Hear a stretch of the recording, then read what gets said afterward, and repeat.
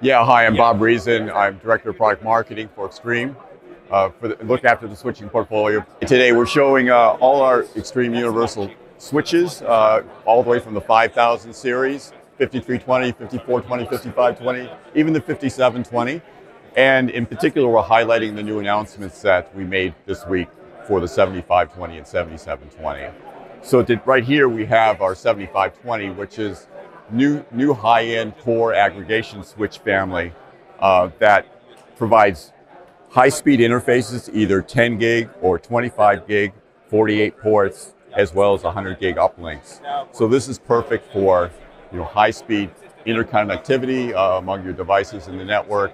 Uh, connect your 5000 series into this. It extends the universal platform family from the edge all the way to the core and the data center. So all the wonderful things we have in the Universal series in terms of multiple operating systems, being able to run Fabric, being able to stack, is fully supported on this new family of switches. It's been really amazing. We've had folks who have our equipment for as long as 15 years, still with us.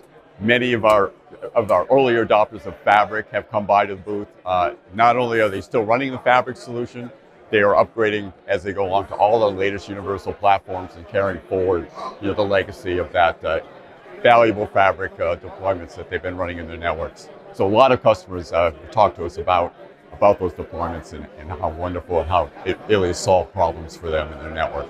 The, the, important thing to remember about this is it's fully investment, it gives you full investment protection in terms of being able to pick the operating system you run.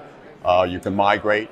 It's fully manageable with our cloud-based management system, supports all the wonderful automation features of our Fabric uh, solution.